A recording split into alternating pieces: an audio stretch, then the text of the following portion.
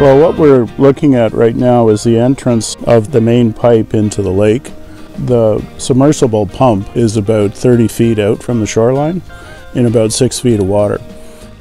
It runs underneath the stone and emerges from the shoreline right here. Um, what you see here is uh, the power supply for uh, heat cable, so that keeps the, the line free in the spring and the fall. And then from here, it's just clear pipe all the way up to the house. It uh, drains back once it's pumped into the pressure tank in the house. The valve releases the water and then it drains back into the lake. So there's nothing to freeze in here during the winter at all. So we're now inside the house and this is the feed line that comes from outside from the lake and it runs up uh, to this assembly here. So this is the, uh, the hardware that allows the drainback system to function during the winter. It's a pretty simple operation, so there's a 5 micron filter here that does uh, essentially all of the water that runs into the house.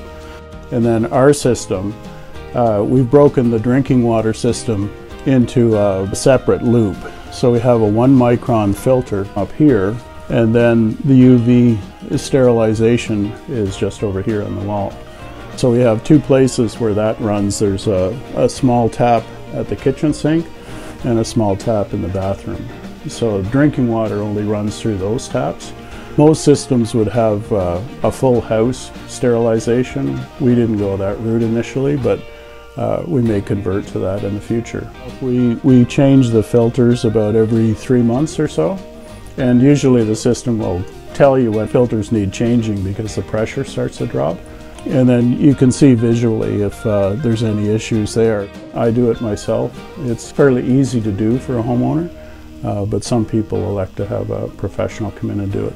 Uh, it's about, uh, I'd estimate about $250 a year for the filters and the bulb. The bulb and the UV um, sterilization system, uh, that works for about a year and then you have to change the bulb.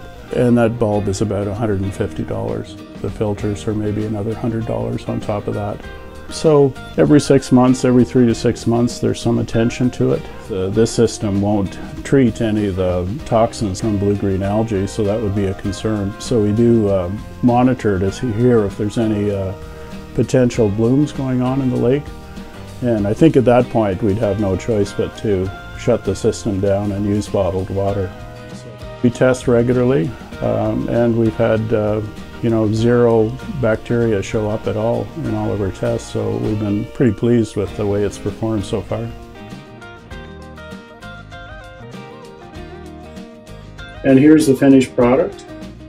Cheers everybody.